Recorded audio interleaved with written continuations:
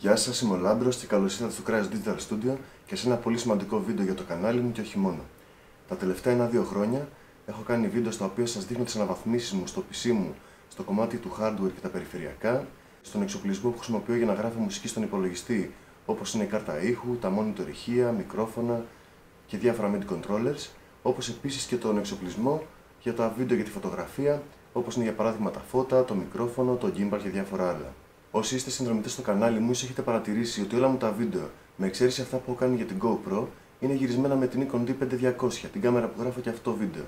Η D5200 είναι μια entry level crop frame DSLR κάμερα που αγόρασα πριν 5 περίπου χρόνια με σκοπό να ασχοληθώ πιο σοβαρά με τη φωτογραφία και μου κόστησε γύρω στα 500 ευρώ μαζί με τον kit φακό της, όπου για την εποχή της αυτά που προσέφερε αλλά και το πολύ περιορισμένο μου budget ήταν ιδανική επιλογή.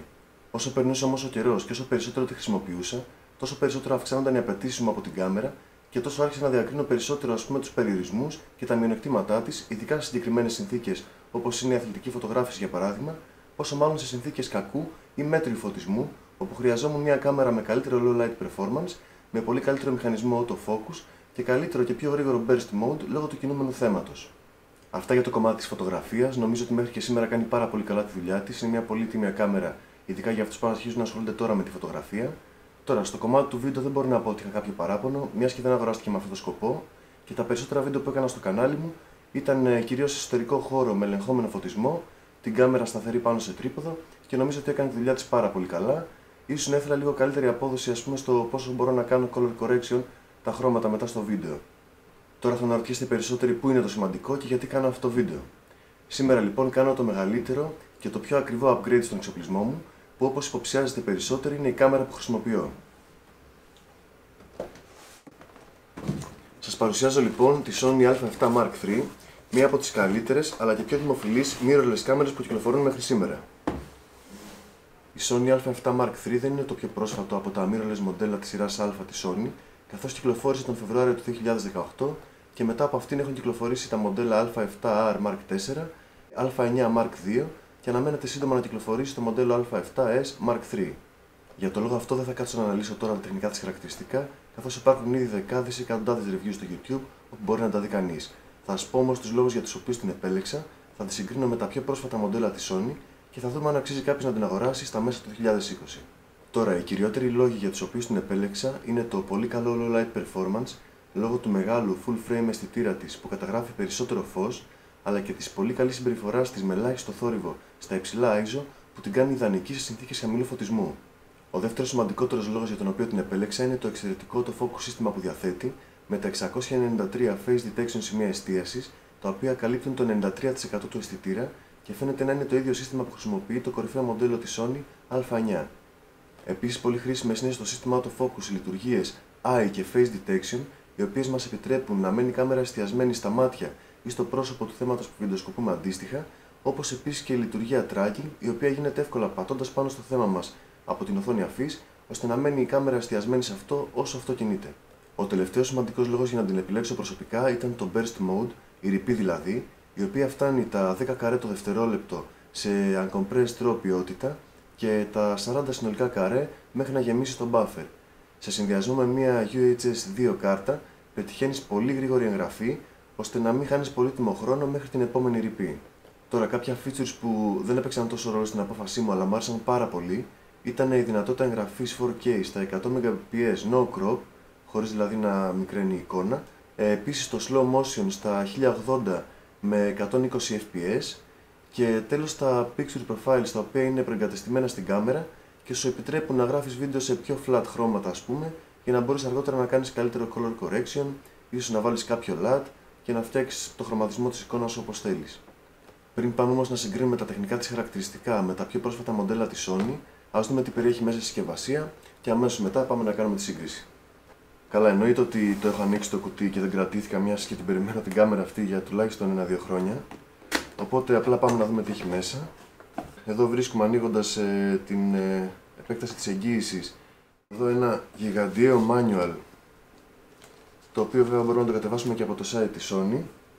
Ένα χαρτί για να την κάνουμε register, την ευρωπαϊκή εγγύηση, ένα σαν διαφημιστικό, δηλαδή φακούς και διάφορα άλλα αξουάρ, Εδώ έχουμε ένα Safety Instructions Guide, πολύ χαρτί και φαντάζομαι το ίδιο σε άλλες γλώσσες. Μέσα βρίσκουμε αυτό το brick, το οποίο συνδέουμε από αυτή τη μεριά με το καλώδιο στην πρίζα και από την άλλη έχει έξοδο USB για να το συνδέσουμε με την κάμερά μας για φόρτιση. Την μπαταρία NPFZ 100, η οποία είναι η τελευταία μπαταρία ας πούμε, με τη μεγαλύτερη χωρητικότητα για τις mirrorless κάμερες της Sony. Ένα καλώδιο για το ρεύμα με βίσμα UK. Ένα micro USB καλώδιο. Ένα κλασικό βίσμα για την πρίζα. Μέσα περιέχεται επίσης ένα strap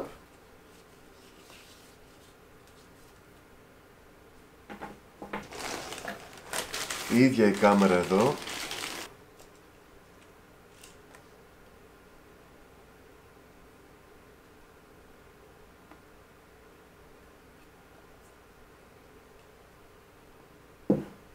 και τέλος ο βασικός φακός με το kit που έρχεται ένας 2470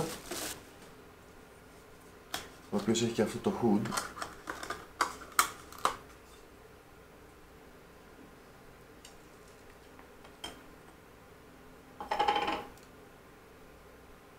Φέρνουμε το άσπρο με το άσπρο σημάδι μαζί και στρίβουμε προς τα δεξιά.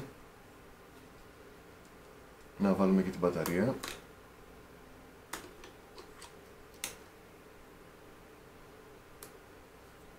Εδώ είναι η υποδοχή για τις μνήμες. Ωραία, τώρα πάμε να κάνουμε το συγκριτικό στα τεχνικά χαρακτηριστικά της ε, με την α7R Mark IV και την ε, α9 Mark II. Αρχικά βλέπουμε ότι η τιμή του σώματος της ε, Sony A7 Mark III είναι στα 1695 ευρώ, αυτό της ε, A7R Mark IV στα 3600 ευρώ και της ε, Sony A7 Mark II στα 5350 ευρώ.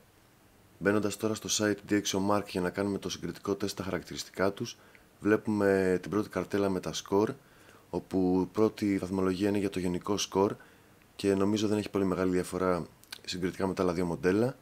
Από κάτω βρίσκουμε το Portrait Color Depth, δηλαδή το βάθος του χρώματος για πορτρέτα, όπου βλέπουμε ότι είναι 25 bit για την ε, Α Mark III, 26 bit για την Α7R4 και 25 πάλι για την Α9 Mark II. Ακριβώς από κάτω έχουμε το score στο Landscape Dynamic Range, το δυναμικό εύρος δηλαδή σε φωτογραφίες τοπίων, το οποίο μετριέται σε stops. Βλέπουμε λοιπόν ότι η Α7 Mark III έχει 14,7 EVS, η Α7R Mark IV 14,8 και Α9 Mark II 14. Και εδώ λοιπόν τα πήγε πάρα πολύ καλά η Α7 Mark III συγκριτικά με τις άλλες δύο.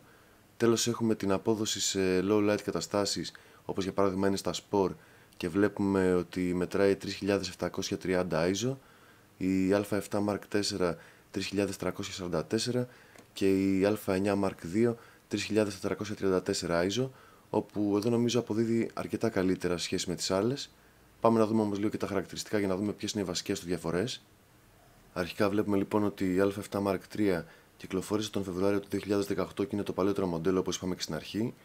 Η Α7R4 κυκλοφόρησε τον Ιούλιο του 2019 και τον Οκτώβριο του 2019 η Α9 Mark II.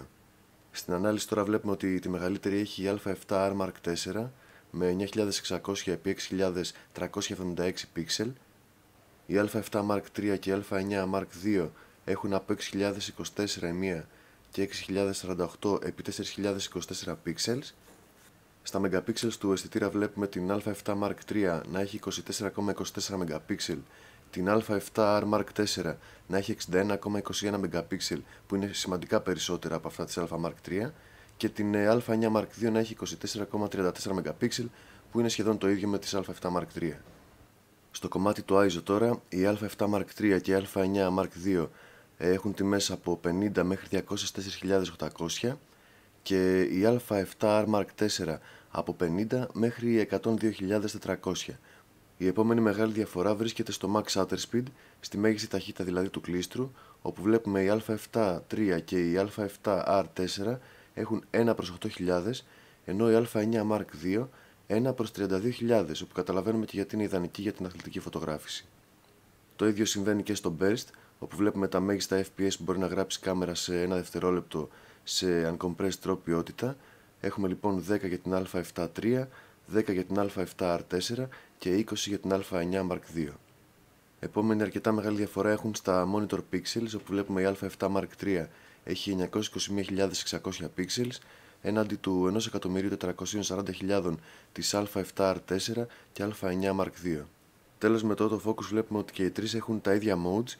Η μεγαλύτερη διαφορά είναι στα autofocus ε, points όπου βλέπουμε ότι η α7 Mark III έχει 693 όπως και η α9 Mark II με την α7 R4 να έχει μόνο 425.